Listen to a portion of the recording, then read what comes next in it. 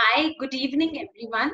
So, day five topic was legislature, quiz ka topic. And I'm very happy there is uh, amazing improvement with all of you, in all of you guys. Uh, हाँ थोड़ी डांट want पढ़ने के बाद ये हाल है, but improvement है. And I'm enjoying it. I hope uh, you know the purpose of this video.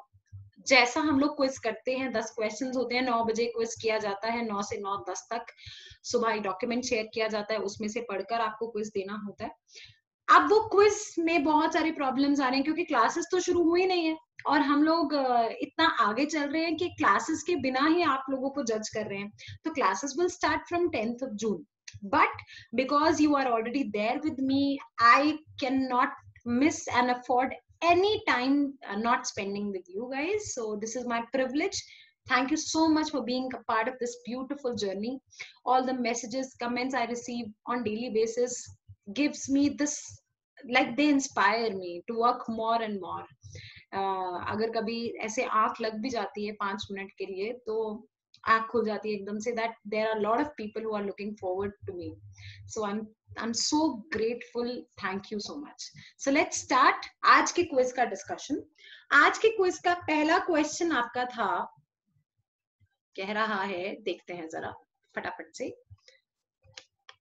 okay so this is your batch two एक बार बैच वन देखते हैं हम लोग बैच वन में पहला question hmm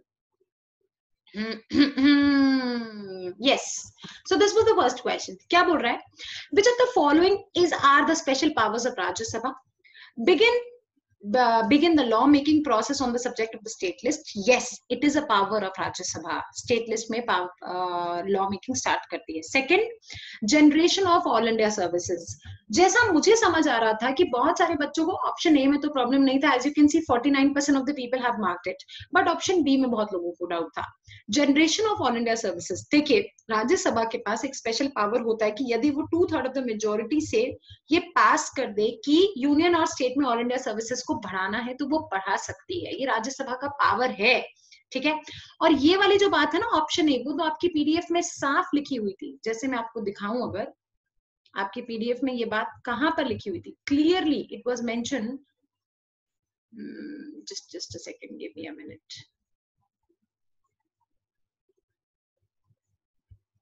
see this was this is your pdf uh, okay this was your pdf pdf में जरा ये वाला ऑप्शन देखो दिख रहा है आपको इट इज़ क्लियरली मेंशन दिख रहा है parliament power to make laws on matters including state list so this was amazingly mentioned here now question number two question number two मुझसे क्या पूछ रहा है पहले क्वेश्चन नंबर वन आप देख लिया, समझ आ गया 49 percent people have said this but 29 percent one and two जो कह रहे हैं कौन कौन से लोग हैं जो ये कह रहे हैं बात मुझे, जिनको लगता है कि टू जो है, वो सही नहीं है ये देखिए So the correct answer was, obviously 49% of the people were saying only one. Only one के साथ साथ second option भी ठीक है. So 29% you were absolutely right. Manish, Varun, Mehraj, everybody, you were right. But you guys need to work. ठीक है? आगे देखते हैं. Second question मुझे कह रहा है which of the following are the powers of Lok Sabha? Introduce and enact money and non-money bill. बिल्कुल सही बात है. लोकसभा का ही काम होता है ये second is approves the proclamation of emergency again ये दोनों बातें अगर आप देखोगे आज के आपने पीडीएफ में दोनों बातें बिल्कुल साफ़ साफ़ लिखी थी। देखें, ये देखिए। क्या? इसमें पढ़िए। Can introduce and enact money and non money bill Lok Sabha का काम? और दूसरा लास्ट ऑप्शन यहाँ पे देखिए approves the proclamation of emergency so both of the points are right both of the options are correct अब problem ये आता है कि आप लोग ना सिर्फ़ पढ़ रहे हो, कैसे पढ़ रहे हो, कितना ध्यान से पढ़ना है, वो आप समझ नहीं रहे हो। इसीलिए चार ऑप्शन आते कंफ्यूज हो जाते हो। और जैसे ऑप्शन मिलता है, एक मिनट का आपको टाइम मिलता है, उसके अंदर फंबल होकर फटाफट मार्क कर देते हो। You know that there is there is no option in my quiz की आप उस ऑप्शन को डिलीट करके दोबारा से दे सको। So this is where you need to work on your accuracy as well as speed okay third question which of the following states do not has bicameral legislature? Bicameral legislature क्या होता है? Bicameral होता है, जहाँ पे विधानसभा, विधान परिषद दोनों होते हैं, दो हाउसेस होते हैं स्टेट के अंदर। तो ऐसे सिर्फ़ छह स्टेट्स हैं। छह स्टेट्स हैं जहाँ पे बाइकैमरल लेजिस्लेचर है। कौन कौन सी छह स्टेट्स हैं, मैं आपको बता देती हूँ। पहले सात हुआ करती थी, लेकिन अभी छह है। कौन सी? एम बी कट जू एमबीबीएस करने के लिए बहुत सारे काजू खाने पड़ते हैं, इसलिए ये जार्गन है। M B Katju Maharashtra, Bihar, Karnataka, Andhra Pradesh, Telangana, Jammu, Kashmir and UP लेकिन अब ये नहीं है तो Maharashtra, Bihar, Karnataka, Andhra Pradesh, Telangana and UP these are your six bicameral states याद कर लो अच्छे से, समझ लो, पढ़ लो। तो क्वेश्चन मुझसे क्या पूछ रहा था? क्वेश्चन ने मुझसे पूछा कि which of the following is not a bicameral state so obviously Rajasthan 84 percent of the people said yes मगर फिर भी कुछ लोग ऐसा समझते हैं कि Maharashtra is not a bicameral state कुछ लोग ऐसा समझते हैं that UP is not a bicameral state Shaurya, you? कुछ लोग ऐसा समझते हैं कि Karnataka is not a bicameral state Naveen Hina Nitika sorry Nikita Hina you need to work more on this आगे बढ़ते हैं। Next question consider the following statements money bill can only be introduce in Lok Sabha बिल्कुल सही बात है money bill सिर्फ़ और सिर्फ़ लोकसभा में इंट्रोड्यूस किया जाता है constitution amended bill can only be introduce in Rajya Sabha नहीं नहीं नहीं कॉन्स्टिट्यूशन अमेंडमेंट बिल जो है वो किसी में भी इंट्रोड्यूस किया जा सकता है। राज्यसभा में भी लोकसभा में भी एक पास कर देगा तो दूसरे हाउस में वो आ जाता है। सो so, यहाँ पर आप कहाँ पे फंस गए? आपको आपको लगा कि करेक्ट आंसर क्या है? लेकिन प्लीज़ ध्यान से पढ़ो। ऑप्शन बोल रहा है which of the following is incorrect incorrect is two so जिन लोगों ने जल्दबाजी में वन ओनली मार्क किया है thirty two percent please be very careful वो इनकरेक्ट पूछ रहा है। So the correct answer is second so these people are doing silly mistakes Varun Vivek Sumit Annie Kamlesh Kamlesh, आज आपका पहला ही क्वेश्चन था। चलो, कोई बात नहीं, माफ़ किया आपको। Pradeep, Monika, Pooja, Shubhangi Prachi Satyam please guys be very careful on this क्या पूछ रहा है? You need to work on this देखा incorrect hmm next what is the significance of bicameral legislature मतलब बाइकैमरल जहाँ पे विधानसभा विधान परिषद दोनों है, ठीक है? उसका सिग्निफिकेंस क्या है? पहला, representation to all sections of the society on, or to all the states, बिल्कुल सही बात है, सबको representation मिलता है। Second, bicameral legislature makes it possible to have every decision reconsider यार ऑब्वियसली अगर दो हाउसेज हैं पहले एक हाउस देखेगा फिर दूसरा हाउस देखेगा तो रिकंसिडर तो होगा ही ना this is this is the uh, this is a significance feature so both of them are correct 69% said yes okay so uh, बाकी लोग जिनको लगता है कि उन्होंने सही मार्क नहीं किया please be very careful again next question with the reference of zero hour which statement is are incorrect member are free to raise any matter that they think is important yes member can raise any matter which they think is important second ministers are bound to reply no ministers are not bound to reply in zero hour they are bound to reply in question hour तो जिन्होंने one and to mark किया है आप लोग zero hour और question hour में confuse हो गए थे जरा देखें कौन कौन से हैं वो लोग?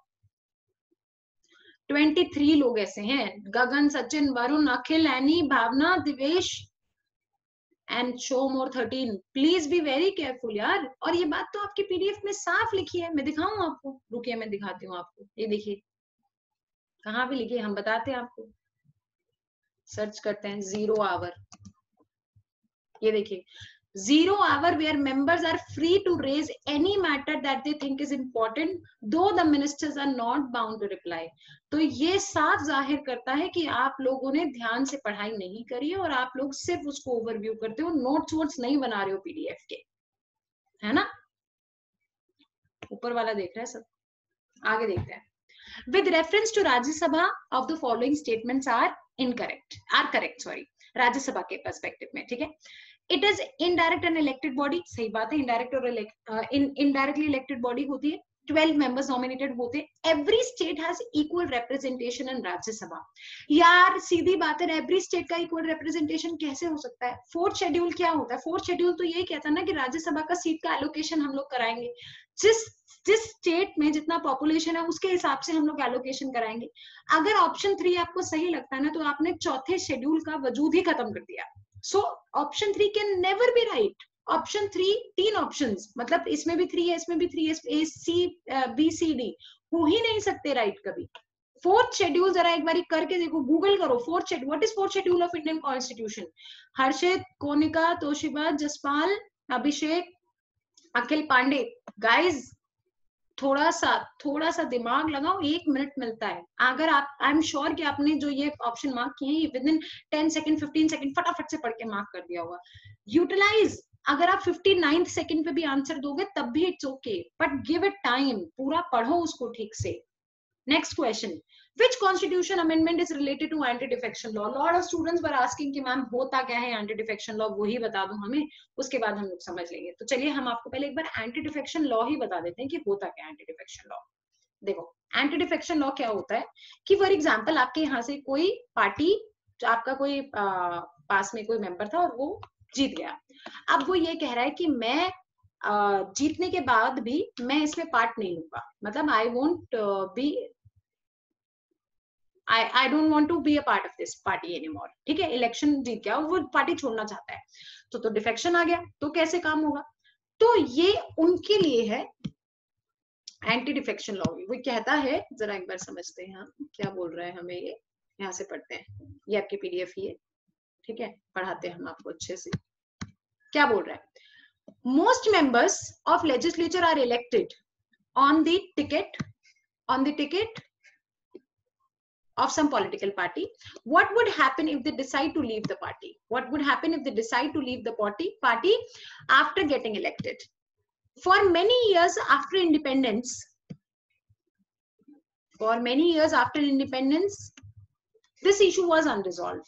Finally there was an agreement among the parties that the legislature who is elected by the one party's ticket must be restricted from defecting to another party ठीक है? वो जीतने के बाद दूसरे में चले जाते थे। An amendment to the constitution was made fifty second amendment बना 1985 में। हालाँकि सब्सिक्वेंटली उस अमेंडमेंट को जारी किया गया तो वो 91 फ़र्स्ट अमेंडमेंट आ गया। The presiding officer of the house the authority to take final decision on such cases which says क्या बोलता है? देखते हैं। यहाँ से पढ़िए। It is if it is prove that the member is defected then such member loses the membership of the house besides such a member is also disqualified from holding any political office like ministership etc this is anti defection law जो कि originally तो हमारे पास आया था 51st amendment से लेकिन subsequently oh sorry 52nd amendment से लेकिन subsequently 91st amendment में उसमें बहुत सारी चीज़ें ऐड हुई थी ठीक है? तो आपसे जो अभी क्वेश्चन पूछा गया है, आपसे अभी जो क्वेश्चन पूछा गया है, वो सिर्फ़ इसका ओरिजिनल अमेंडमेंट पूछा है। Original amendment is fifty second ठीक है? नाइनटी सेकेंड नहीं है नाइनटी फ़र्स्ट है वैसे। तो जिन्होंने नाइनटी सेकेंड मार्क किया है, वो कंफ्यूज हो गए हैं। आगे देखते हैं नेक्स्ट क्वेश्चन अब जब हम नाइनटी फ़र्स्ट अमेंडमेंट की बात कर रहे थे ना नाइनटी फ़र्स्ट अमेंडमेंट में बड़ी अच्छी चीज़ ऐड की गई थी, वो थी ये। Which of the constitutional amendment limits the structure of council of ministers not more than 15% of the total number of seats of lok sabha? Lok sabha jo hai पूरी लोकसभा बनती है, उसके अंदर से कुछ काउंसिल ऑफ़ मिनिस्टर्स चूज़ किए जाते हैं प्राइम मिनिस्टर चूज़ करता है। वो जो काउंसिल ऑफ़ मिनिस्टर होंगे, वो सिर्फ़ और सिर्फ़ पंद्रह परसेंट ही होंगे। पंद्रह परसेंट से ज़्यादा काउंसिल ऑफ़ मिनिस्टर्स नहीं हो सकते। ये नाइनटी फ़र्स्ट अमेंडमेंट में आया था, ठीक है? So answer is ninety first amendment forty second amendment तो कतई नहीं हो सकता। मैंने मतलब मैंने ट्रायल के लिए मार्क किया उसको, ठीक है? श्रेया पूजा, शुभम, श्रीवास्तव, सुदीप फोर्टी सेकेंड तो हो ही नहीं सकता। सिक्सटी फ़र्स्ट अमेंडमेंट भी नहीं है। Sixty first amendment it's it's related to election age of election क्या करें हम तुम्हारा? क्या करें? बताइए जरा। अगला ऑप्शन देखते हैं। अगला क्वेश्चन लास्ट क्वेश्चन था। लास्ट क्वेश्चन बोल रहा है which of the following statement about Lok Sabha are correct Lok Sabha से रिगार्डिंग कौन सा स्टेटमेंट करेक्ट है? Council of ministers is responsible to Lok Sabha बिल्कुल सही बात है। No confidence motion can only originate in Lok Sabha बिल्कुल सही बात है। Prime minister can only be a part of Lok Sabha no prime minister can be a part of any of the house किसी भी house का part हो सकता है, राज्यसभा का भी, लोकसभा का भी। बट उसको मेंबर ऑफ़ पार्लियामेंट होना होता है। पार्लियामेंट क्या होता है? लोकसभा, राज्यसभा प्रेसिडेंट पूरा पार्लियामेंट है। उनको मेंबर ऑफ़ पार्लियामेंट होना होता है। वो किसी भी हाउस का पार्ट हो सकते हैं। तो option three is not correct तो नॉट करेक्ट मतलब ऑप्शन बी सी और डी नहीं होंगे। तो एक ही ऑप्शन बचा विच इज़ ए लेकिन हमारे पास फिर भी ऐसे बहुत सारे लोग हैं रूपल सक्षम मोनिका जिन्होंने ये सारे ऑप्शंस मार्क किए हैं। तो कृपया करके अपनी पढ़ाई में सुधार लाएँ। जो आपको नोट्स दिए जाते हैं उनको अच्छे से पढ़ें। आपकी इतनी भयंकर क्विज के बाद अर्थ क्विक आ गया था देखिए नौ बज के नौ मिनट पे आज की हमारी क्विज में। सो so, प्लीज़ जो पीडीएफ दिए दिया जा रहा है उसके नोट्स बनाओ। सिर्फ़ उसको पढ़ने से कुछ नहीं होगा। प्रॉब्लम ही ये होता है कि हम लोग क्या पढ़ना है तो देख लेते हैं, लेकिन कैसे पढ़ना है नहीं समझ पाते हैं। कल सुबह का नौ बजे का जो डॉक्यूमेंट आएगा I want you to make notes why am giving you twelve hours on this I can also give you one hour two hour अगर रीड ही करना है तो पाँच पेज तो होते हैं। नोट्स बनाने हैं, पढ़ना है उसको, समझना उसको। इसीलिए बारह घंटे का टाइम दिया जाता है, नौ बजे से नौ बजे तक का। प्लीज़ अगर आप लोग सिंसियर नहीं होगे, आप लोग अच्छे से नहीं पढ़ोगे, मैं पढ़ाने वाली नहीं हूँ। if you take one step i'll take 10 but you have to take one okay? I'm giving my best to deliver you the best. Thank you so much. Good night. Have uh, dreams beautiful dreams of this particular thing that you you may land up to your dream college very soon. Goodbye. Good night. Bye.